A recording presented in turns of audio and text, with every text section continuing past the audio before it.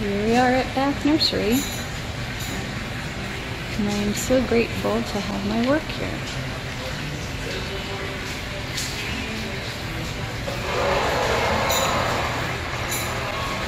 I'll be here all weekend. It's August 11th and 12th. Actually, today's the 10th.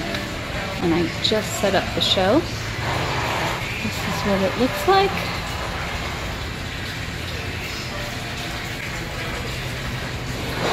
Such a beautiful space here. These plants are amazing.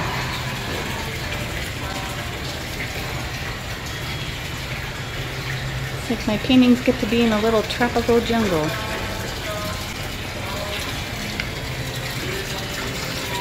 Come on out to Bath Nursery on Prospect and come see my show. Thanks.